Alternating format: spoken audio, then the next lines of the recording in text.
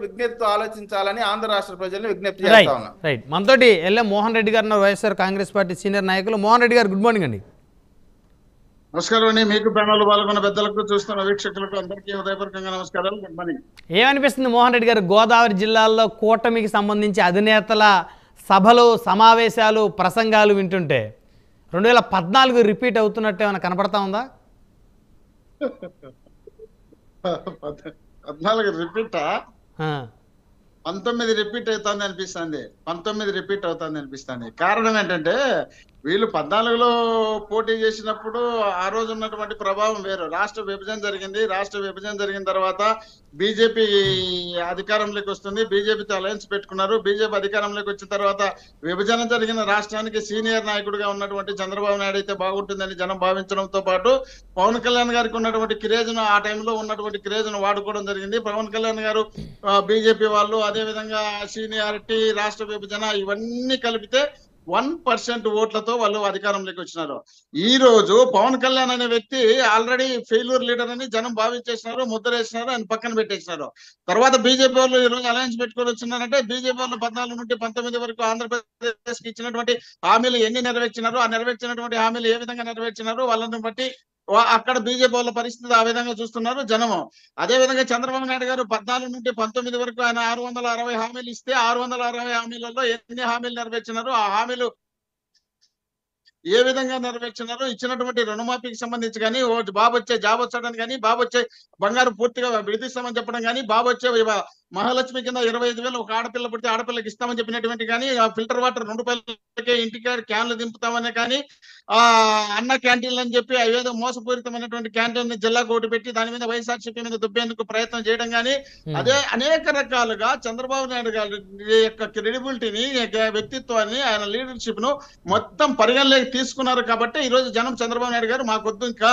ఇలాంటి వ్యక్తి outdated leader అయినా అవుట్డేటెడ్ లీడర్ని తీసుకొచ్చుకొని మేమేం చేయాలా? ఈయన పనికొచ్చేవాడు కాదు అనే విధంగా వాళ్ళను భావించినారు కాబట్టి ఆయన పక్కన పెట్టారు. ఆయన పక్కన పెట్టారు కాబట్టి ఆయన చేసినటువంటి చరిత్ర ఆయన చేసినటువంటి అవినీతులు అవన్నిటినీ అవన్నిటిని ఇప్పుడు మళ్ళీ తీసుకొచ్చి ఖచ్చితంగా అధికారంలోకి జగన్మోహన్ రెడ్డి గారు ముఖ్యమంత్రి అయితేనే పాత కేసులు అన్ని ఒక్కొక్కటి ఒక్కొక్కటి తీసుకొచ్చి లోపలేస్తారు. ఈ లోపలేకుండా ఉండాలంటే కనీసం బీజేపీ లాంటి వాళ్ళతో అలయన్స్ పెట్టుకుందాం అలయన్స్ పెట్టుకుందాం అనుకుంటే వాళ్ళు వాళ్ళ ఇంట్రెస్ట్ చూపుకుపోయినా ఢిల్లీకి పోయి రెండు మూడు రోజులు కాసుకొని వచ్చి వాళ్ళతో అలయన్స్ పెట్టుకొని వాళ్ళు ఒప్పుకోకపోతే పవన్ కళ్యాణ్ గారిని పంపించే పవన్ కళ్యాణ్ గారు నన్ను తిట్టారు నా మగాన్ని ఉంచినారు నేను మిమ్మల్తో అలయన్స్ పెట్టుకోవాలనుకుంటే నాకే అసహ్యంగా ఉంది అనే విధంగా ఆడ ఆయన చెప్పించిన తర్వాత మళ్ళీ ఆరిని కుదరకపోతే పురంధేశ్వర గారిని పంపించి ఆమె రెండు మూడు రోజులు పెట్టించి అన్ని ప్రయోగాలు చేసి పొత్తులు పెట్టుకొని జనంలోకి వచ్చినారు.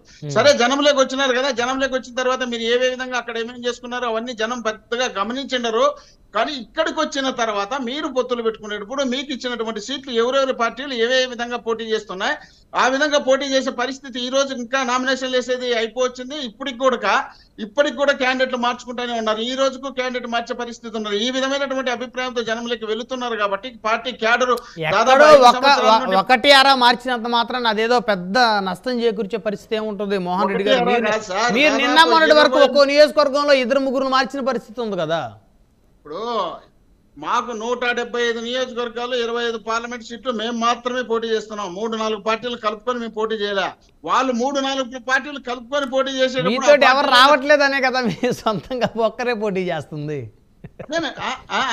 ఏమంటారు? మీతోటి కలిసి ఎవరో రావట్లేదని మీరు సొంతంగా పోటీ చేస్తున్నారు కదా అంటున్నా. ఇక్కడ ఇక్కడ ఇక్కడ చేసుకొని మీతో పాటు ప్యానల్ కూర్చున్న పెద్దలతో పాటు లీడర్లను బయట ఉన్న లీడర్లను చెప్పమనండి.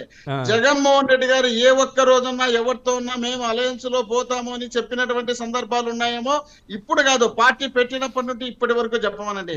ఎవరంతట వాళ్ళు వాళ్ళు వచ్చి మమ్మల్ని అడుక్కున్నా కూడా మేము ఎవరిని కూడా చేయడం లేదు కాతరు మేము. సింగిల్ గానే వస్తాం సింగిల్ గానే గెలుస్తాం సింగిల్ గానే మా పార్టీకి పనిచేసినటువంటి వ్యక్తులకే మేము టికెట్ ఇస్తాం. మా పార్టీలో ఉన్నటువంటి వ్యక్తుల్ని మేము ఎంకరేజ్ చేస్తామని చెప్పినటువంటి నాయకుడు మా నాయకుడు జగన్మోహన్ రెడ్డి గారు. వీళ్ళలాగా ఇష్టం మీ పార్టీ కోసం పనిచేసిన వారికేనా ఇచ్చేది? నూటికి నూటికి తొంభై తొమ్మిది శాతం. ఇంకా ఏదైనా కుల సమీకరణలు ఆ ప్రాంతాల్లో ఉన్నటువంటి వ్యక్తులు ఎవరైనా బలమైనటువంటి లీడర్లు వాళ్ళు అక్కడ వాళ్ళు ఏదైనా టికెట్లు అమ్ముకొని ఇక్కడ వచ్చినటువంటి అక్కడ టికెట్లు అమ్ముకుంటారు కదా బలమైన లీడర్లను పక్కన పెట్టి టికెట్లు అమ్ముకుంటే వాళ్ళు మా పార్టీలోకి వచ్చి మీ దాంట్లో కొనుక్కుంటారా వాళ్ళు? ఇందులోకి వచ్చి? అది కదండి అది కదండి. వాళ్ళు ఇప్పుడు మీరు సమర్థులు మీరు సమర్థవంతమైన నాయకుడు. మిమ్మల్ని పక్కన పెట్టి అక్కడ డబ్బులు ఉన్నటువంటి వ్యక్తిని తెచ్చి వీళ్ళు డబ్బులు ఉన్న వాళ్ళకి టికెట్ ఇస్తే మీ సమర్థతను గుర్తించిన తర్వాత మా జగన్మోహన్ రెడ్డి గారు ఇస్తారు కదా. మరి అప్పటి వరకు మరి మా ప్లేస్ నా ప్లేస్లో పనిచేసిన వాళ్ళని ఏం చేస్తారు? హండ్రెడ్ పర్సెంట్ వాళ్ళకి ఆల్టర్నేటివ్ అవకాశం కల్పిస్తుంది ఎమ్మెల్సీ కానీ రాజ్యసభ కానీ లేక కార్పొరేషన్ చైర్మన్లు కానీ ఏదో విధమైనటువంటి ఖచ్చితంగా అధికారంలోకి వచ్చింది మేమే కాబట్టి అధికారంలోకి వచ్చిన తర్వాత ఆ విధమైనటువంటి చెప్పినటువంటి మాట చెప్పినటువంటి వ్యక్తులకు ప్రతి ఒక్కరికి అవకాశం కల్పించినారు కాబట్టి ఆ అవకాశం జగన్మోహన్ రెడ్డి గారు ఒకసారి మాట ఇస్తే మాట మీద నిలబడతాడని జనం నమ్మిన లీడర్లు నమ్ముతారు కాబట్టి ఏ ఒక్క చోట జగన్మోహన్ రెడ్డి గారి మీద తిరుగుబాటు అనేది లేదు. నిన్న చూడండి మా కాదు మీరు మోహన్ రెడ్డి గారు మా పార్టీ మా పార్టీలో ఉన్న వాళ్ళకి టికెట్లు ఇస్తాం మేము బయట ఏమో మా పార్టీ కోసం కష్టపడిన వాళ్ళకి ఇస్తా ఉన్నారు కదా.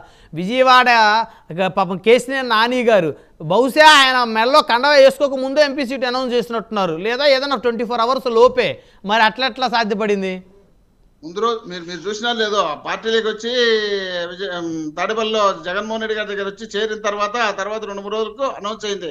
ఇక్కడ మీకు ఇంకో విషయం. తెలిసిన లేదు. తెలుగుదేశంలో జనసేనలో వీళ్ళల్లో ఇక్కడ అనౌన్స్ కాకముందే అక్కడ పోయి అనౌన్స్ చేసి అక్కడ పోయి కణవాలు మార్చుకున్నారు. మన వేదవ్యాసు ఈయన బుద్ధ బుద్ధ బుద్ధప్రసాద్ అలాంటి వ్యక్తులు మనం అందరం చూసినాం. అవనిగడ్డకు సంబంధించి ఇతర నియోజకవర్గాల్లో టికెట్లు కనీసము వాళ్ళ పార్టీ కండవా వేసుకున్న తర్వాత టికెట్ ఇచ్చిన సందర్భాలు. ఒక చిన్న announce లాజిక్ లాజిక్ మిస్ అవుతున్నారు మోహన్ రెడ్డి గారు? జనసేన తెలుగుదేశం బీజేపీ మూడు ఒక్కటే మూడు వేరు వేరు కాదు. అందులో వాళ్ళు ఇందులో పోటీ చేయొచ్చు ఇందులో వాళ్ళు అందులో పోటీ చేయొచ్చు. ఆ మూడు ఒకటే కదా. కూటమే. ఏమైంది. తప్పేముంది ఇప్పుడు వేరే పార్టీ వాళ్ళను అర్థం తీసుకొని వచ్చి కండవ వేస్తే మీరు అన్నట్టు యాక్సెప్టబుల్. ఆ కూటమిలో వాళ్ళే ఒక పార్టీలో వాళ్ళు ఇంకో పార్టీలో అడ్జస్ట్ చేసుకున్నారు వాళ్ళు. దాంట్లో తప్పేంది వారు. ముగ్గురు ఒకటే. ముగ్గురు మళ్ళీ వేరువేరుగా చూసే పరిస్థితి లేదు కదా. ముగ్గురు అభిమానులు ఓట్లేస్తేనే ఆ- నియోజకవర్గంలో ఆ క్యాండిడేట్ గెలిచేది ఆ పార్టీ అధికారంలోకి వచ్చేది. వాళ్ళని వేరుగా చూడటానికి లేదు. వారు మేమంతా ఒకటే వస్తున్నాం అని చెప్తున్నారు. కదా. అప్పుడు ఎందుకు మూడు పార్టీలను విలీనం చేసి ఒకే పార్టీ పెట్టుకుంటే ఇంకా ఎంతకన్నా బాగుంటుంది కదా? జనాలు కూడా నమ్ముతారు కదా? మళ్ళీ మూడు పార్టీలు మూడు జెండాలు తల అనవసరంగా భుజాలు వేసుకొని మోసుకొని రావాలి. వాళ్ళంతా పాపం కార్యకర్తలు. ఒకటి జారిపోతే ఒకటి తిట్టాడు ఒకటి జారిపోతే ఒకటి తిట్టాడు సైకిల్ ఒక పక్కన పట్టుకోవాలి కమలం ఒక పక్కన పట్టాలా? గాజును ఒక పక్కన పట్టుకోవాలి. ఇంత తలకాయ నొప్పి లేకుండా ఒకే ఒక సింబల్ మీద అందరూ కలిసిపోతే సంతోషంగా భావిస్తారు కదా జనం కూడా. మరి అట్లా పొమ్మనండి ఎందుకు ఈ సమస్యలన్నీ ఎందుకు ఇంకా ఆంధ్రప్రదేశ్లో కాబట్టే జనం వాళ్ళని దూరం పెడుతున్నారు. కాబట్టే వాళ్ళు జనం దగ్గరికి పోలేకున్నారు. కాబట్టే జగన్మోహన్ రెడ్డి గారికి మేము సిద్ధం సభలకు రాత్రి పది అయినా కూడా కంటిన్యూగా జనం బస్సును ఎంటబడుతూ ఎంటబడుతూ కలుస్తున్నారు. అయ్యా మేము కలసాలి మేము మాట్లాడాలి మేము జలిపి దిగాలి మేము జగన్మోహన్ రెడ్డి గారితో మేము మా సమస్యలు తెలుసుకో చెప్పాలి.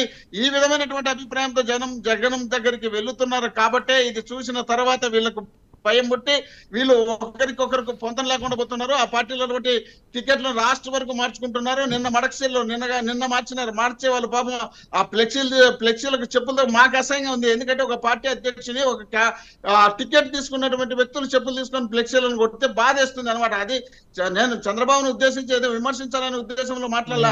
చంద్రబాబు నాయుడు అనే వ్యక్తి గతంలో వాళ్ళకి ఎమ్మెల్యే టికెట్ ఇచ్చినారు ఎమ్మెల్యేగా గెలిచినారు. గెలిచిన తర్వాత వాళ్ళు ఏదో కోర్టు మళ్ళీ డిఫాల్టర్ అయినారు. డిఫాల్టర్ అయిన తర్వాత ఐదేళ్ళు పని చేసినారు. పని రైట్ మీ వాయిస్ మీట్లో పడింది మోహన్ రెడ్డి గారు.